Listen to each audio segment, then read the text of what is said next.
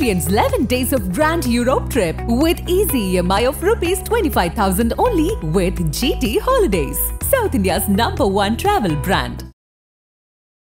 ED officer லஞ்சம் வாங்கினார்னு arrest பண்ண உடனே சிபிஐட்ட ட்ரான்ஸ்ஃபர் பண்ணியிருக்கணும். நீட்டாக இருந்திருக்கும். தமிழ்நாடு கவர்மெண்ட் திடீர்னு உள்ள வந்து சென்ட்ரல் கவர்மெண்ட் மேலே கோவத்தில் இடி ஆஃபீஸரை இவங்க அரெஸ்ட் பண்ணி நீங்க என்னவா இருந்தாலும் இடி ஆஃபீஸ் உள்ள போறதுக்கு முன்னாடி இவங்க என்ன பண்ணிருக்கணும்னா அவங்களோட மத்திய அரசு படையை வர வைக்கணும் இவங்க உடச்சி உள்ள போய் தேடுறதுன்றது வந்து தவறு. இது ஒரு லேண்ட்மார்க் ஜட்மெண்ட்டா இருக்குன்றது என்னோட கருத்து. இது வரப்போகுது நோட்டீஸ் போயிட்டு வரப்போகுது. கண்டிப்பா ஸ்டேட் கவர்மெண்டால இதை ஜஸ்டிஃபை பண்ணவே முடியாது. தமிழ்நாடு அரசு பண்ணது மிகப்பெரிய தவறு பிகாஸ் ஆஃப் பாலிடிக்ஸ் பாலிடிக்ஸ் இல்லாம இடி ஆபீசரை ஒரு ஆபீசரா பார்த்துருந்தாங்கன்னா இந்த பிரச்சனை கிடையாது. அவங்க இடி ஆபீசரை மோடியோட ஆபீசரா பார்த்தாங்க. டிஎம்கேவோட மைண்ட் செட்டை பாருங்க. அமைதியாக இஸ்லாமியர் ஹிந்துவும் கிறிஸ்டினும் நல்லா வாழ்ந்துட்டு இருப்பாங்க ஒரு ஒரு ஊர்ல. நாளைக்கு என்னப்பா நாளைக்கு என்ன ராமர் கோயில் திறக்கிறீங்களா ஒரு இஸ்லாமியர் கேட்பாரு ஆமாப்பா நாளைக்கு காலையில இருந்து ரொம்ப வாழ்த்துக்கள் வாழ்த்துக்கள்ப்பான்னு சொல்றாங்க. இவரு மசூதி இடிச்சு கட்டுறாங்கப்பான்னு அவர் வந்து ஆமா இல்ல மசூதி இடிச்சு கட்டுறாங்களே அவருக்கு ஞாபகம் இவங்க தான் தூண்டி விடுறதே எல்லாரையுமே. இவங்க நினச்சிருக்காங்க இதெல்லாம் பார்த்தா கிறிஸ்டின் முஸ்லீம் அப்படியே அப்படியே சந்தோஷம் அவங்களே சந்தோஷப்பட மாட்டாங்க. அவங்க எப்பவும் போல ஜாலியாக தான் இருக்காங்க. ராமர் கோயில் வருது வந்துருச்சு அவ்வளோதான் முடிஞ்சிருச்சு. நான் சந்தோஷமாக ஏற்றுக்கிட்டாங்கன்னு சொல்ல மாட்டேன். வருத்தம் இருந்தாலும் தீர்ப்பு வந்துருச்சு பிரச்சனையை முடிச்சிருவோம். இவங்க என்ன பிரச்சனை தீர்ந்துட்டா அப்புறம் நாங்க எப்படி இங்க இருக்கிறது? வரலாறு தெரிஞ்சு பேசுறது உதயநிதி அவர்களுக்கு நல்லது. ஆதன் தமிழ் நேயர்களுக்கு அன்பு வணக்கம். இன்றைய சிறப்பு நேர்காணலில் நம்முடன் இருக்கிறார் தமிழக பாஜகவின் செய்தி தொடர்பாளர் வழக்கறிஞர் குமுருக்கு ரோட்டே வணக்கம் சார். வணக்கம். இப்போ நம்ம இந்த இடி அதிகாரி அன்கித் திவாரி அவர் வந்து லஞ்சம் வாங்கினான்னு சொல்லிட்டு கைது பண்ணி சிபிசிஐடி இன்வெஸ்டிகேஷன் போயிட்டு இருக்கிறதா சொன்னாங்க. அதில் வந்து இடி வந்து உச்சநீதிமன்றத்தை அணுகி இன்னைக்கு வந்து ஒரு ஆர்டர் வாங்கியிருக்காங்க. இப்போ இந்த ஆர்டர் அப்படிங்கிறது வந்து யாருக்கு பின்னடைவு? இதன் மூலியமாக என்ன நடக்கும்? இதோட பின்னணி என்ன சார் இது ஆர்டர் இல்லை இது வந்து notice notice to Tamil Nadu government நீங்கள் பதில் சொல்லுங்கன்னு. இடி வந்து அன்றைக்கி நான் அவங்க இதை பற்றி பேசியிருக்கோம். Trespass into others domain வாங்கல இது வந்து ஸ்டேட் வந்து சென்ட்ரல் ஏஜென்சியோட பவி உள்ளே போய் அதை அன்றைக்கே நான் சொன்னேன் கான்ஃப்ளிக்ட் ஆஃப் இன்ட்ரெஸ்ட் வரும்னு. அதான் இன்றைக்கி ஜட்ஜஸும் வந்து எனக்கு எல்லா மெட்டீரியலையும் கொடுங்கன்னு கேட்டிருக்காங்க. வெறுமே சொல்லலை. டாக்குமெண்ட்ஸ் எல்லாத்தையுமே கொடுங்கன்னு எனக்கு வச்ச குற்றச்சாட்டு அப்படி. என்னென்னா இடி ஆஃபீஸர் லஞ்சம் வாங்கினாருன்னு அரெஸ்ட் பண்ண உடனே அவங்க அன்றைக்கே சொன்னால் அன்னைக்கு உடனே அவங்க வந்து சிபிஐட்ட ட்ரான்ஸ்ஃபர் பண்ணியிருக்கணும். ஏன்னா அவர் வந்து சென்ட்ரல் கவர்மெண்ட் எம்ப்ளாயி அங்கே கொடுத்துருந்தாங்கன்னா சிபிஐ அவங்க அப்படியே எடுத்திருப்பாங்க. சிபிஐ ஒரு ரிஜிஸ்டர் பண்ணியிருப்பாங்க எஃப்ஐஆர் ரிஜிஸ்டர் பண்ணியிருப்பாங்க அப்போ ப்ரொசீட்ஸ் ஆஃப் கிரைமில் இடியும் ஒரு ஈஸியாக ரிஜிஸ்டர் பண்ணியிருப்பாங்க இவங்க ப்ரொசீஜர் நீட்டாக இருந்திருக்கும். இங்கே தமிழ்நாடு கவர்மெண்ட் திடீர்னு உள்ளே வந்து சென்ட்ரல் கவர்மெண்ட் மேலே இருக்கிற கோவத்தில் இடி ஆஃபீஸரை இவங்க அரெஸ்ட் பண்ணி சிபிஐக்கும் கொடுக்காம இவங்களே நேராக இடி ஆஃபீஸ்க்குள்ளே போய் அவரோட டேபிளில் அவரோட ரூமை நம்ம சர்ச் பண்ணுறோன்னு சொல்லி எல்லாவோட அந்த கேட்ஜெட்ஸ்லாம் எடுத்துக்கிட்டு டிவைஸ்லாம் எடுத்து இதோ என்னென்ன இருக்கோ எல்லாத்தையும் எடுத்துகிட்டு வரதான் அத்துமீறல் நம்ம சொன்னோம். இதுக்கு வந்து ஒரு யார் எப்படி பண்ணீங்க? எஃப்ஐஆர் போட்டேன் இது வந்து என்னென்னா ஸ்டேட் கவர்மெண்ட் வந்து இடி ஆஃபீஸ் அஃபீஷியல்ஸ் மேலே எஃப்ஐஆர் போட்டிருக்காங்க. உள்ளே வந்தாங்க உள்ளே வந்து எங்களை பணி செய்ய விடாமல் தடுத்தாங்க. அது என்ன எஃப்ஐஆர்னு இடி கேட்குறாங்க டிஜிபியை தமிழ்நாடு டிஜிபியை அந்த எஃப்ஐஆர்லாம் போட்டிங்களே அது என்ன கண்டென்ட் அதை கொடுங்கன்னு கேட்டால் டிஜிபி கொடுக்க மாட்டார். ஏதோ சென்சிட்டிவ்னு சொன்னாங்க ஏன், ஒரு இடி ஆஃபீஸர் கேட்டாங்கன்னா அது கொடுத்தானே இவங்க இவங்க இப்படி கூட கேட்கலாம்ல. ப்ரொசீட்ஸ் ஆஃப் கிரைம் அதில் இருக்கு நான் நான் ஒரு இசிஐஆர் போட போறேன்னு கேட்கலாம்ல. ஒரு ஏஜென்சியும் இன்னொரு ஏஜென்சியும் எஃப்ஐஆர் எஃப்ஐஆர் பப்ளிக் டாக்குமெண்ட் உங்களுக்கு தெரியும். ஆனால் இது மட்டும் பப்ளிக் டாக்குமெண்ட் இல்லை. இது மட்டும் இந்த எஃப்ஐஆர் மட்டும் எந்த இதில் வெப்சைட்லையும் இல்லை. பிளாக் பண்ணியிருக்காங்க அப்போ இப்போ நீங்கள் எந்த எஃப்ஐஆர்னா நீங்கள் பார்க்கலாம். பொதுமக்கள் தகவலுக்கு சொன்னோன்னா ஒரு எஃப்ஐஆர் நம்பர் கிரைம் நம்பர் இருந்ததுன்னா எஃப்ஐஆர் எந்த ஸ்டேஷன் பார்த்து எடுக்கலாம். ஆனால் இதில் மட்டும் பிளாக் பண்ணிட்டாங்க. அப்போ அவங்களோட எண்ணம் வந்து நான் என்ன செஞ்சேன்னு உனக்கு சொல்லக்கூடாது அப்படின்ற மாதிரி அது அரசாங்கத்துக்குள்ளே இருக்கக்கூடாது. இரண்டு கட்சிகளுக்குள்ளே இருக்கலாம். திமுக பாஜகவுக்கு உள்ள மோதல் இருக்கலாம். அரசாங்கத்துக்குள்ளே சென்ட்ரல் கவர்மெண்ட்டுக்கும் ஸ்டேட் கவர்மெண்ட்டுக்குமே மோதல் இருக்கக்கூடாது. துறை ரீதியாக இருக்கலாம். இது வந்து குழாயடி சண்டை மாதிரி என்னோட எஃப்ஐஆரை கொடுக்க மாட்டேன் காப்பியை கொடுக்க மாட்டேன். அத்துமீறினது இவங்க ஸ்டேட் போலீஸ் நீங்கள் என்னவாக இருந்தாலும் இடி ஆஃபீஸ் உள்ளே போகிறதுக்கு முன்னாடி இவங்க என்ன பண்ணியிருக்கணும்னா அவங்களோட மத்திய அரசு படையை வர வச்சிடணும் அவங்க நிற்க வச்சு அவங்க முன்னாடி தான் பண்ணியிருக்கணும் இவங்க உடச்சி உள்ளே போய் தேடுறதுன்றது வந்து தவறு.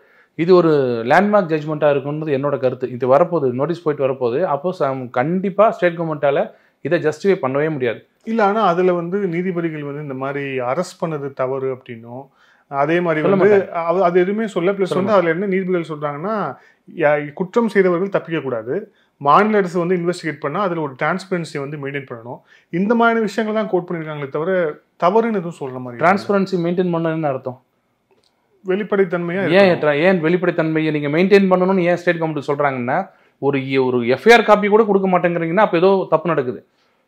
மறைக்கிறீங்க. அது வரக்கூடாதுன்னு. இன்னொன்று இந்த மாதிரி கேஸில் அட்மிட் பண்ணும்போது எந்த கமெண்ட்டும் அடிக்க மாட்டாங்க. எப்பவுமே ஜட்ஜஸ் வந்து இதை கேட்டுக்கிட்டு நோட்டீஸ் அனுப்பிச்சதே வந்து அவங்க இதில் முகாந்திரம் இருக்குன்றதுனால தான் நோட்டீஸ் அனுப்புகிறாங்க இல்லை அனுப்ப மாட்டாங்க. பார்த்த உடனே என்ன ஈடி தானே? இப்போ என்ன ஈடி கேட்டால் கொடுத்து நம்ம வேண்டாம்னு சொல்லல. சிபிஐக்கு மாற்றக்கூடிய முகாந்திரம் அந்த ரெண்டு நீதி நீதிபதிகளுக்கும் தெரிஞ்சிருக்கு.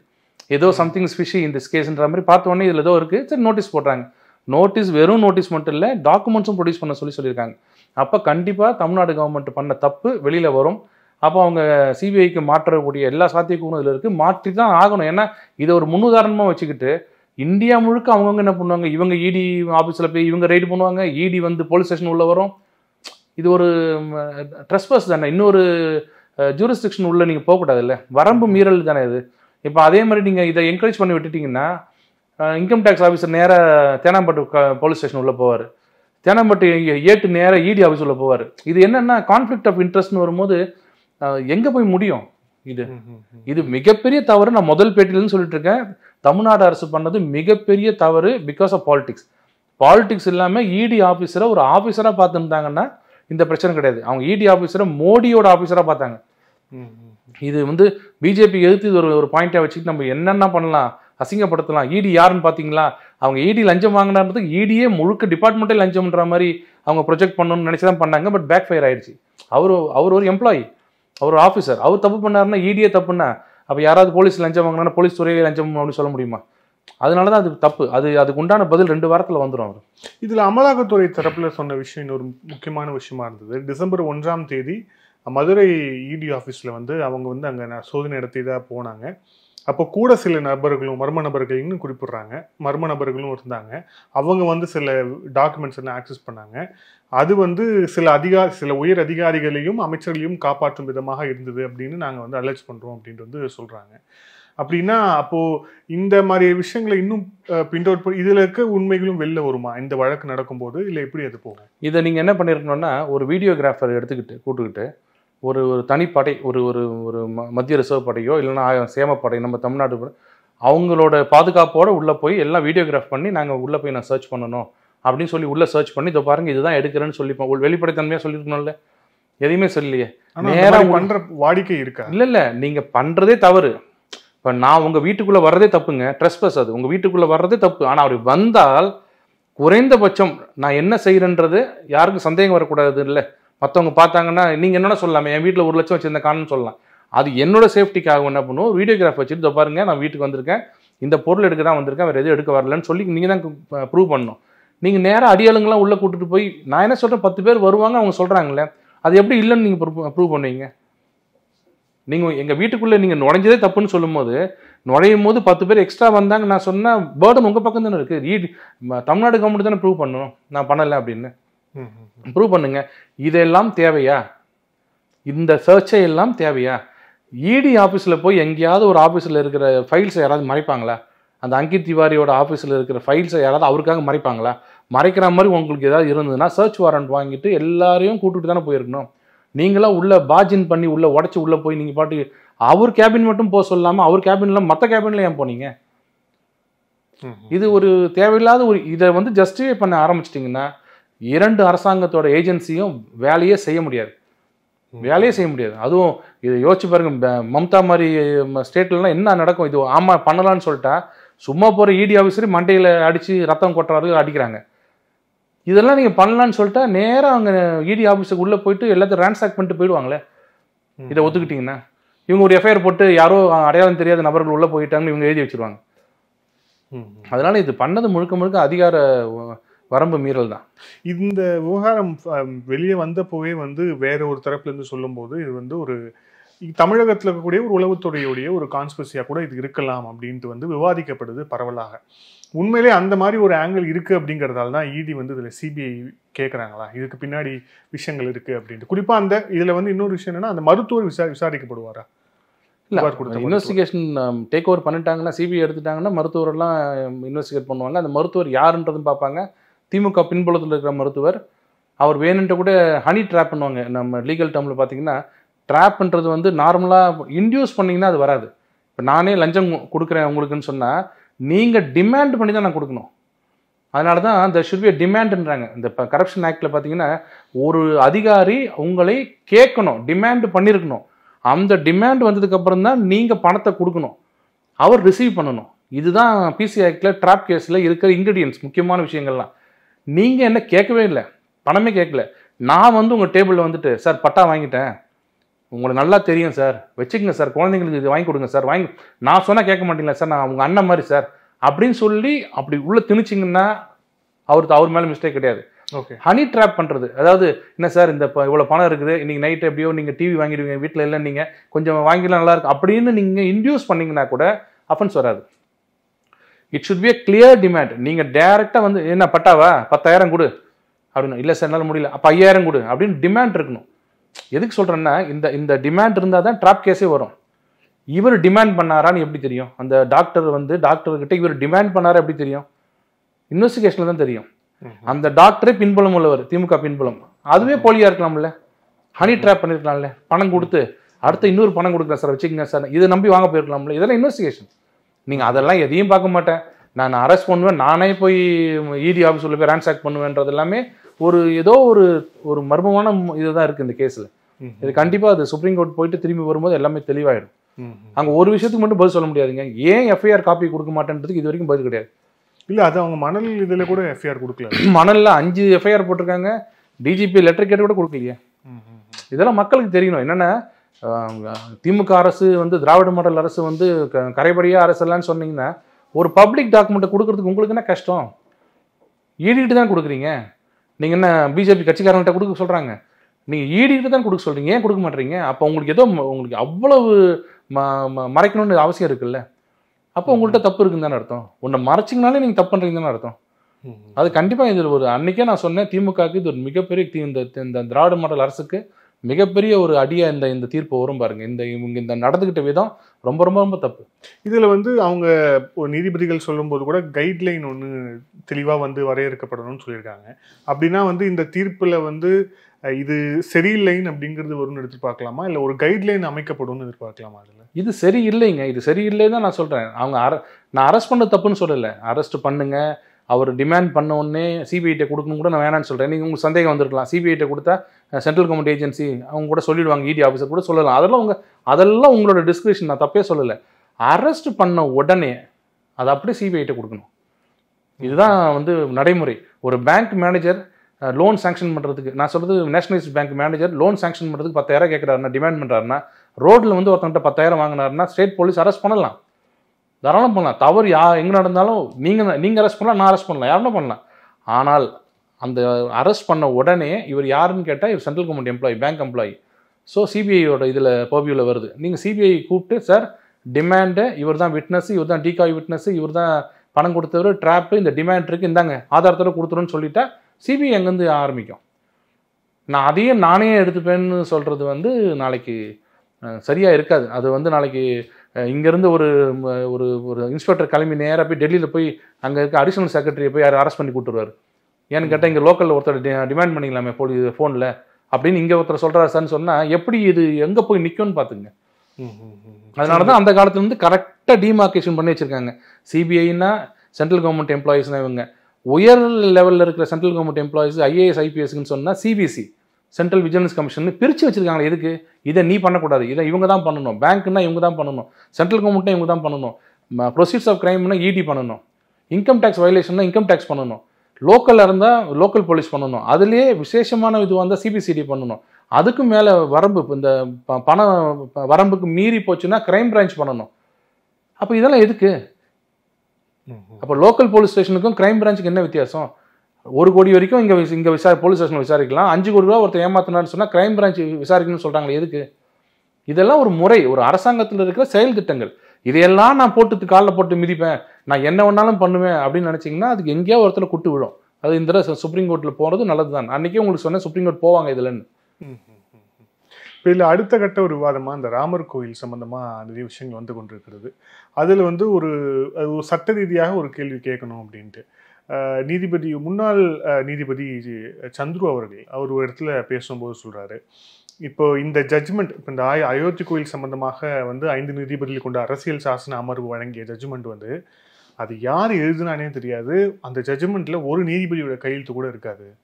ஆனால் வந்து எங்களுடைய சட்ட அறிவு நாங்கள் ஆராய்ஞ்சு பார்த்ததுல அந்த அந்த ஜட்ஜ்மெண்ட்டில் கிட்டத்தட்ட எழுபது பர்சன்ட் வந்து அது யாரோட அந்த லாங்குவேஜ் அந்த ஜட்ஜோட லாங்குவேஜ் வச்சு சொல்கிறோம் அது இப்போ இருக்கக்கூடிய கரண்ட் சீஃப் ஜஸ்டிஸ் சந்திரசூட் தான் எழுதியிருக்காரு. இவங்க கிட்ட இருந்தெல்லாம் நம்ம எப்படி நியாயத்தை எதிர்பார்க்க முடியும் அப்படின்ட்டு அவர் சொல்றாரு. தீர்ப்பு விம- விமர்சிக்கிறார் அவர். தீர்ப்பு மட்டும் இல்லை நீதிபதி விமர்சிக்கிறாரு. அவர் அவரோட இதுக்கெல்லாம் நம்ம என்ன பதில் சொல்ல முடியும்? அவர் எப்படி இருந்தார் இப்போ எப்படி பேசிட்டு இருக்காரு? இப்போ ஆன்டி பிஜேபி ஆன்டி நேஷனல் எப்படி பேசிட்டு இருக்காரு? சந்துரு சந்துரு சொல்றதுக்கு ஒன்றும் ஆச்சரியம் இல்லையே. அவர் ஏற்றுக்கிட்டா தான் ஆச்சரியம். அவர் இந்த ஹரி பரந்தாம்னு ஒரு ஜட்ஜி இவங்கெல்லாம் எப்படி ஜட்ஜா அப்போ இருந்தாங்கன்னு எனக்கு தெரியல. அவங்கெல்லாம் வந்து ஒரு நேர்மையான ஜட்ஜின்னு எல்லாம் சொல்லிட்டு இருந்தாங்க. இப்போ தான் தெரியுது வெளியில் வந்தோடனே இவ்வளோ கலர் பூசுறாங்க. அவங்க எல்லாமே ஆன்டி ஹிந்துவாக தான் பேசுவாங்க. ஆன்டி பிஜேபி தான் பேசுவாங்க. கவர்மெண்ட் எதிர்த்து தான் பேசுவாங்க. நீதித்துறையில் இருந்துட்டு பேசலாமா அவர்? அவங்களே கிளியராக சொல்கிறாங்க இந்த அஞ்சு நீதிபதிகளும் யார் யார் என்னென்ன எழுதுனாங்கன்னு ஏன் சொல்லக்கூடாதுன்னா எங்கள் மனதில் இருக்கிறது தெரிஞ்சிடும் அதில் அப்போ வந்து இவர் இப்படி சொல்லியிருக்காரு பாரு இவர் இப்படி சொல்லியிருக்காரு பாருன்னு தெரிஞ்சுக்க வேண்டாம். நாங்கள் அஞ்சு பேரும் ஒருமித்து எழுதணும்னு யாராவது ஒருத்தர் நோன்னு சொல்லிருக்கலாம்ல. ஒ- அஞ்சு பேரும் சேர்ந்து எழுதின ஜட்ஜ்மெண்ட்டுன்றாங்க இது வந்து நார்மலாக எப்படி பண்ணுவாங்கன்னா மூணு பேர்னா ரெண்டு பேர் ஒன்று எழுதுவாங்க ஒன்று ஒருத்தர் எழுதுவாங்க. டிசென்ட் தான். இது டிசென்ட்டே இல்லை. எல்லாம் அஞ்சு பேர் ஒன்றா தான் எழுதுறாங்க. அஞ்சு பேர் பேரும் கீழே போட்டுட்டு அஞ்சு பேர் பேரும் ஒரு ஃபுல் ஜட்ஜ்மெண்ட் கொடுத்து கீழே அஞ்சு பேர் பேர் போடுறாங்க. இவர் என்ன சொல்கிறாருன்னா ஒரு ஒருத்தர் பேரையும் போடுங்க. அப்போ தான் பாலிடிக்ஸ் பண்ண முடியும். அது இவர் வேலை கிடையாது. அதில் கிளியராக ஆர்டிகல் ஒன் ஃபார்ட்டி ஒன் படி நான் சுப்ரீம் கோர்ட்டு எங்களுக்கே உள்ள தனி அதிகாரத்தின் பயன்படுத்தி எந்த சூட்டு எந்த வழக்கையும் முடித்து வைக்கும் அதிகாரம் எங்களுக்கு இருக்குது நாங்கள் ஒரு புது ஒரு செட்டில் பண்ணுறதுக்கு எந்த லா எனாக்ட் பண்ணுற பவர்ஸ் எங்களுக்கு இருக்குது அந்த பவரில் தான் நாங்கள் இதை தீர்த்து வைக்கிறோம். இந்த இந்த தீர்ப்புன்ட்டு சொல்கிறாங்க அவங்க ஒரு ஒரு ஒரு நியாயமான ஒரு to give a quietus to the இஷ்யூன்னுவாங்களே ஒரு தீ பிரச்சனை தீர்த்து வைக்கணும்னு நினைக்கிறவங்க அந்த பக்கம் இருக்காங்க. தீர்ந்த பிரச்சனையை நோண்டி நோண்டி விடுறதுக்கு இந்த மாதிரி ஆளுங்க இருக்காங்க. இதுதான் சொல்கிறேன் அந்த தீர்ப்பு வந்தவொடனே இஸ்லாமியர்களும் ஏற்றுக்கிட்டாங்க இஸ்லாமியர் என்ன சொன்னாங்கன்னா நல்லதோ கெட்டதோப்பா இந்த பிரச்சனை முடிஞ்சது. நோ மோர் பாலிடிக்ஸ் நமக்கு ஒரு இடம் கொடுத்துட்டாங்க. நம்ம அங்கே போயிடுவோம்.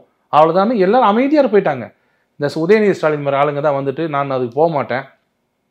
மசூதியை இடித்து கோயில் கட்டுவதால் நான் போக மாட்டேன். இவர் யாரை கேட்டாங்களா? இந்தி கூட்டணியில் இருக்கிறவங்க கூட என்ன சொல்கிறாங்கன்னா அரசியல் ஆக்குறாரு. மோடி வந்து கதாநாயகன் ஆகிறாரு.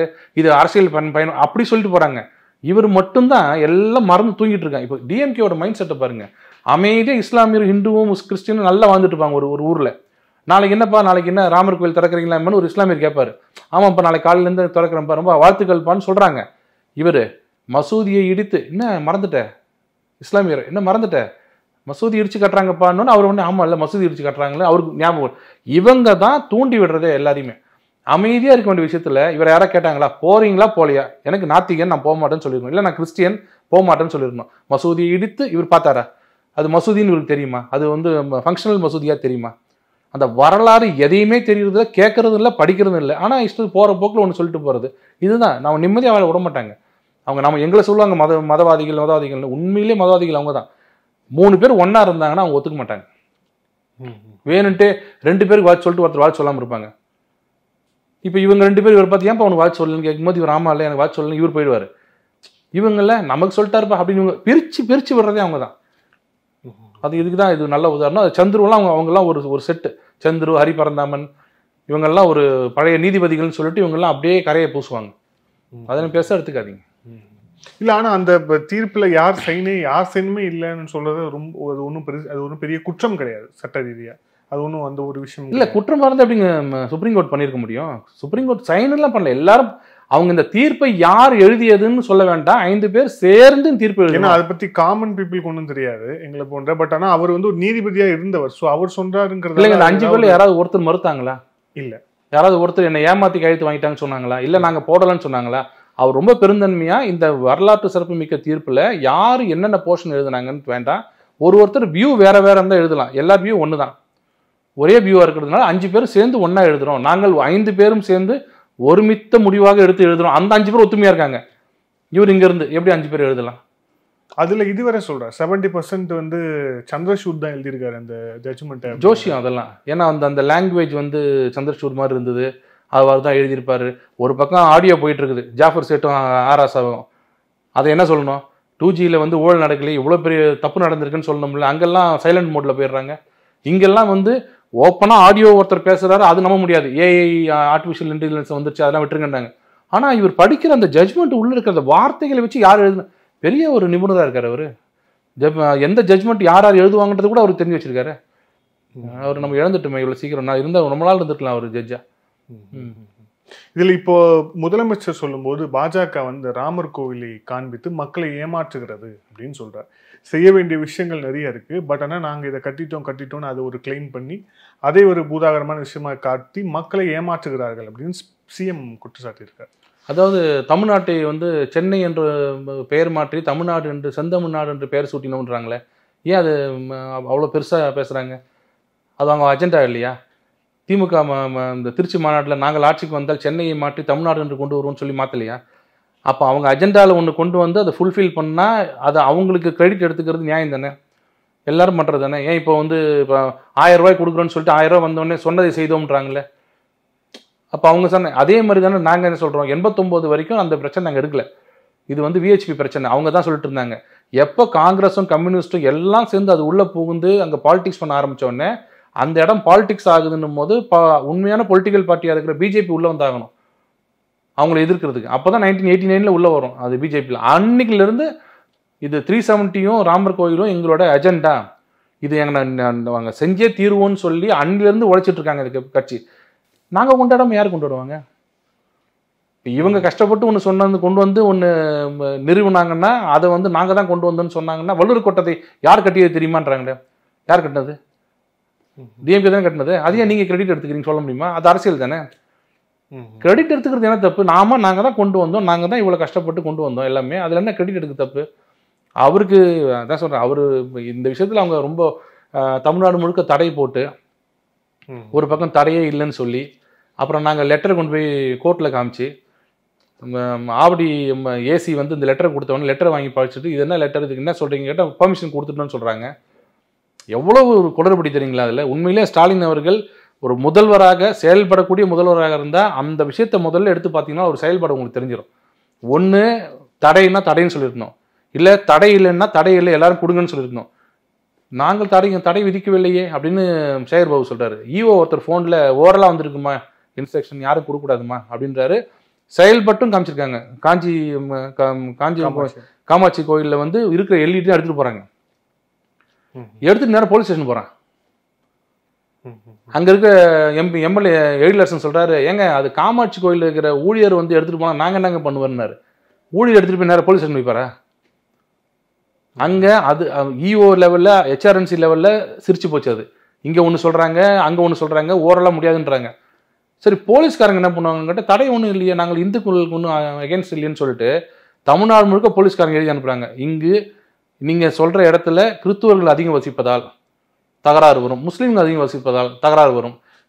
கேட்டால் நாங்கள் இந்துக்களுக்கு எதிரி கிடையாதுன்னாங்க அன்னைக்கு ஏசி அம்பத்தூர் ஏசி கொடுத்த லெட்டரில் கிளியராக இந்த சம்பவத்திற்கு தி திமுகவும் பிசிகவும் மற்ற பிற கட்சிகளும் எதிர்ப்பு தெரிவிப்பதால் உங்களது அனுமதி ரத்து செய்யப்படுகிறது. அப்படின்னு யார் ஏசி கொடுக்குறாரு. ஓவர் த பேஜ் என்ன சொல்கிறாரு இங்கு குறிப்பிட்ட இடத்தில் பிற மதத்தினர் அதிகம் வசிப்பதால் லா அண்ட் ஆர்டர் பிரச்சனை வந்துடும் அப்படின்னு. ஒரு பக்கம் நாங்கள் அப்படி சொல்லலைன்றாங்க. ஒரு பக்கம் இப்படி. ஏழு நாட்களுக்கு முன்னாடி வாங்கியிருக்கணும். அதனால தான் ரிஜெக்ட் பண்ணுறேன்னாங்க கோர்ட்டில் போய் நைட்டு போய் ரிஜெக்ஷன் லெட்டர் கொடுக்குறாங்க. காலையில் கோர்ட்டில் போய் கொடுக்குறோம். கோர்ட்டில் ஜட்ஜு கூப்பிட்டு கேட்குற ஆனந்த் வெங்கடேஷ் அவர்கள் கூப்பிட்டு கேட்குறாரு என்ன சொல்கிறீங்கன்னு இல்லை இல்லைங்க. நைட் நைட்டே கொடுத்துட்டாங்க. அப்போ அந்த ஏழு நாள் என்னாச்சு? அங்கே நீங்கள் நீங்கள் உண்மையிலே ஸ்டபோனான ஆளாக இருந்தால் அங்கே என்ன சொல்லியிருக்கணும் இல்லைங்க. ஏழு நாட்களுக்கு முன்னாடி கொடுக்கணும். இவங்க கொடுக்கல. அதனால ரிஜெக்ட் பண்ணிட்டாங்க. ஐயா அப்படின்னு சொல்லிருக்கணும்ல. என்ன ஆச்சுன்னு கேட்டோன்னே நேற்று நைட்டே கொடுத்துட்டாங்க. என்ன இப்போ வந்து கேட்குறீங்க நான் அது கொடுத்து எவ்வளோ நேரம் ஆச்சு அப்படின்னு. சரி அதெல்லாம் இருக்கட்டும். மற்றவங்கள்ட்ட என்ன பண்ண போறீங்க? ஜென்ரலாக சொல்லுங்கன்னும் போது ப்ரைவேட் கோயிலுக்கு தேவையில்லை. ப்ரைவேட் பிளேசஸுக்கும் தேவையில்லை. எப்போ? ஒம்பதரை மணி காலையில். அந்த அந்த தீர்ப்பு வந்ததுக்கு அப்புறம் தான் தமிழ்நாடு முழுக்க இருக்க அத்தனை கோயிலுமே ஸ்மூத்தாக நடந்துச்சு. அது மட்டும் வராமல் இருந்ததுன்னா ப்ரைவேட் கோயிலுக்கும் பிரச்சனை பண்ணியிருப்பாங்க சி ஹெச்ஆர்என்சி கோயிலுக்கும் பிரச்சனை பண்ணியிருப்பாங்க பப்ளிக் பிளேஸுக்கும் பிரச்சனை பண்ணியிருப்பாங்க ஸோ இவங்க இதில் நல்ல நல்லா சிக்கிட்டாங்க. திமுக அரசாங்கம் வந்து ஓப்பனாக மாட்டிக்கிச்சு. நான் வந்து நாங்கள் ஹிந்து பண்டிகைக்கு அகேன்ஸ்டாக தான் இருப்போம்னு. அதை நாங்கள் என்ன கேட்டோம்? இந்த கூற்றை கொஞ்சம் எடுத்துக்கிட்டோம்னா பிற மதத்தினர் இருக்கிற இடத்துல நீங்கள் போனீங்கன்னா கலவரம் நடக்கும்னு நீங்கள் சொல்கிறத ஏற்றுக்கிட்டோம்னா தமிழ்நாட்டில் பெரும்பான்மையான மதம் யாரு? இந்துக்கள். எந்த தெருவில் போனாலும் எண்பது பேர் இந்து இருபது பேர் தான் மற்ற இதில் இருப்பாங்க. அந்த இருபது பேரும் எந்த இதுவும் பண்ணக்கூடாது? ஃபங்க்ஷனும் பண்ணக்கூடாதா? இந்த இதே யாட்சிக்கு யூஸ் பண்ணீங்கன்னா நீங்க பண்றதுனால பிற மதத்தினர் அதிகம் வசிக்கும் ஏரியான்றாங்க அப்போ எல்லா இடத்துலையுமே பெரும்பான்மையான இடத்துல இந்துக்கள் தானே அதிகமா இருப்பாங்க. அப்ப கிறிஸ்டியனும் முஸ்லீமும் இந்த நாட்டுல ஒரு ஃபங்க்ஷன் நடத்தக்கூடாதா? எவ்வளவு தப்பான விஷயம். அது என்னன்னா அவங்க இது வரைக்கும் இந்த மாதிரி நான் கேட்டோம். இந்த மாதிரி ஒரு லெட்டர் காவல்துறையில இது வரைக்கும் சுதந்திர இந்தியாவுல வேறு மதத்தினருக்கு கொடுத்துருக்கீங்களான்னு கேட்டோம். கொடுத்தது இல்லை. இது வரைக்கும் கொடுத்ததே இல்லை நாங்கள் அப்போ இந்து விரோத கட்சின்றது இப்போ ஒத்துக்கிறீங்களா நம்ம இங்க ஒரு நடைமுறை வருடா வருடம் பார்ப்போம்ல. இந்த எக்மூர் ட்ரிப்ளிகன் சைடில் வந்து அந்த அந்த ஒரு பர்டிகுலர் ஏரியாவில் விநாயகர் சதுர்த்தி ஊர்வலம் நடக்காது அப்படிங்கிறது. ஸோ அந்த மாதிரி யாஸ்டிக்ஸ் இருக்குல்ல அந்த சென்சிட்டிவான இடத்துல அனுமதிக்க மாட்டோங்கிறது. அது அப்புறம் இவங்களா ஏற்படுத்தினது. நாங்கள் முதல்ல இருந்தே சொல்றோம் யார் அது இவங்க தான் அந்த பக்கம் போகாதீங்க அங்கே இஸ்லாமிய இருக்காங்கன்றாங்க. ரொம்ப காலமா ஸ்மூத்தாக நடந்துச்சு. உங்களுக்கு எப்போ எத்தனை நாளா தெரியும்னு நினைக்கல. இப்போ இப்போ சமீபத்தில் தான் பிரச்சனை. அது எப்படின்னா இஸ்லாமியர்கள் எதுவும் பண்ண மாட்டாங்க அங்கெல்லாம். அவங்க பாட்டுக்கு அவங்க பார்த்து பார்த்துட்டு இருப்பாங்க எப்படி எத்தனை பேர் போறாங்க வராங்கன்னு. இவங்க இந்த பக்கம் போனால் இஸ்லாமியர்கள் இருக்கிறாங்க. இஸ்லாமியர்கள் இருக்காங்க போகக்கூடாது போகக்கூடாது தடை பண்ணிங்கன்னா ஓ இங்கே வரக்கூடாது போல இருக்கு நம்ம இருந்தா அப்படின்னு அவங்க நினச்சிக்கிறாங்க. இது எல்லாம் தூண்டி விடுறது இவங்க தான். இது வரைக்கும் எந்த கலவரம் நடந்திருக்கு? இப்போ சரி இங்கேயாவது வந்து ட்ரிபிளிகேன்ல e இஸ்லாமியர்கள் அதிகம் வச்சுக்கிறீங்க சரி ஒரு காரணம் சொல்லிட்டீங்க ரைட்டு. தமிழ்நாடு முழுக்க? ம், ம், அப்போ உங்கள் எண்ணம் வந்து சிறுபான்மையினர் அதிகமாக இருந்தால் அங்கே நீங்கள் ஹிந்து போகக்கூடாது. ஹிந்துஸ் அதிகமாக இருந்தால் சிறுபான்மையினர் போகலாம் அப்போ இன்டெரக்டா அது ஒரு காம்ப்ளிமெண்ட் ஹிந்துஸுக்கு அந்த ஊர்ல ஹிந்துஸ் அதிகமா இருக்கான் நம்பி போப்பா ஒன்னாகாதுப்பா அவ்வளோ ஜென்டலா இருப்பாங்கப்பா. இந்த பக்கம் சிறுபான்மை இருக்காங்க. போகாதீங்க. பண்ணா இன்டெரக்டா யாரை சிறுமப்படுத்துறாங்க அவங்க? கவர்மெண்ட் சிறுபான்மையை தான் சிறுமப்படுத்துது அவங்கள்ட்ட போகாதீங்க. அவங்க அடிச்சிருவாங்கன்னா அப்போ இவங்கன்னா அடிக்கிறவங்களா அவங்களா? அது அதான் சொல்றேன். இப்போ இந்த ராம ஜென்ம பூமி இந்த திறப்பு விழாவில் நான் எத்தனையோ ஃப்ரெண்ட்ஸ் முஸ்லீம் கிறிஸ்டின்ஸை பழகிறேன். யாருமே தப்பாக நினைக்கல. எல்லாரும் ஜாலியா இருந்துறாங்க. என்னப்பா நாளை காலையிலே போயிடுவீங்களா? பத்து மணிக்கெலாம் ஆரம்பிச்சிருவீங்களான்னு. இவங்க தான் தேவையில்லாம நீ எதுக்கு எல்இடி போடுற நீ எதுக்கு ரோட்ல அன்னதானம் அன்னதானம் கொடுக்க கூடாதுன்னு எடுத்துட்டு போயிருக்காங்க. சாப்பாடெல்லாம். இவங்க நினைச்சிருக்காங்க இதெல்லாம் பார்த்தா கிறிஸ்டின் முஸ்லீம் அப்படியே அப்படியே சந்தோஷம் அவங்களாம் சந்தோஷப்பட மாட்டாங்க. அவங்க எப்பவும் போல ஜாலியாக தான் இருக்காங்க. ராமர் கோயில் வருது வந்துருச்சு அவ்வளவுதான் முடிஞ்சிருச்சு. நான் சந்தோஷமா ஏத்துக்கிட்டாங்கன்னு சொல்ல மாட்டேன். வருத்தம் இருந்தாலும் தீர்ப்பு வந்துருச்சு பிரச்சனையை முடிச்சிருவோம். இனிமேல் அதை போட்டு உழைப்பிட்டு இருக்க வேணாம்னு அவங்க நினைக்கிறாங்க. இவங்க என்ன பிரச்சனை தீர்ந்துட்டு அப்புறம் நாங்க எப்படி இங்க இருக்கிறது? பிரச்சனை கிளப்பி விடுங்க மசூதி இடித்து அப்படின்னு ஆரம்பிக்கிறாங்க. அதனால் வரலாறு தெரிஞ்சு பேசுறது உதயநிதி அவர்களுக்கு நல்லது. அவர் தயவுசெய்து ஆயிரத்தி ஐநூத்தி இருபத்தி ஆறுல இருந்து நேத்து வரைக்கும் நடந்த வரலாறை. அவர் படிக்க முடியாது படிக்க மாட்டாரு. வேற யாராவது கேட்டாவது இந்த விஷயத்துல என்ன நடக்குது அப்படி மொத்தமா கேட்டாரு வச்சுங்களேன் அது மசூதியா இல்லையா? கட்டப்பட்டதா? கட்டப்படாததா? அங்க உள்ள வந்து இது நடந்ததா? தொழுகை நடந்ததா? நடக்கலையா? ஏன் இத்தனை நாளா தொழுகை நடக்காம இருந்தது? அதுக்கு யாரெல்லாம் காரணம்? எந்த மன்னர்கள்லாம் அதை வந்து த- தடுக்க நினைச்சாங்க யார் கட்ட நினைச்சாங்க இதெல்லாம் பார்த்துட்டு தான் நம்ம எதையும் பேசணும்.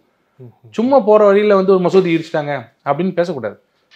தமிழக பாஜக தலைவர் அண்ணாமலைக்கு எதிராக ஒரு போராட்டம் இன்று நடைபெற்றிருக்கிறது. அது வந்து ஊடக ஊடகத்தை சார்ந்தவர்கள் நிறைய பேர் வந்து நடத்தியிருக்கிறாங்க. அவர் வந்து சில வார்த்தைகளை வந்து தவறாக பயன்படுத்துகிறார். தொடர்ச்சியாக இதை தான் செய்து கொண்டிருக்கிறார் அப்படின்ட்டு. அந்த போராட்டத்தை பார்த்துருப்பீங்க. உங்களுடைய? செலக்டிவ் அம்னீஷியா போராட்டம் வந்து அண்ணாமலை அவர்கள் பண்ணால் மட்டும்தான் அது போராட்டம். அவங்க அதர் சைடில் என்ன கழுவி கழுவி ஊற்றினா கூட அட விடுங்க நம்ம திமுக தானே அப்படின்ட்டு போயிடுவாங்க. ஆர்எஸ் பாரதி சொன்னதை எடுத்துக்கங்க. அது ஒரு கண்டனம் வச்சாங்களே யாராவது. தமிழ்நாட்டில் பத்திரிகையாளருக்கு ஒரு சுதந்திரம் இல்லையா? ஊடகவியலாளருக்கு சுதந்திரம் இல்லையான்னு கேட்டுக்கணும் இல்லையா? அதெல்லாம் விட்டுட்டு அண்ணாமலைக்கு அவர் கிளியராக சொல்லிட்டார். இது ஊர் பழக்கம்னு ஊர்லேயும் அப்படிதான் பேசுவாங்க.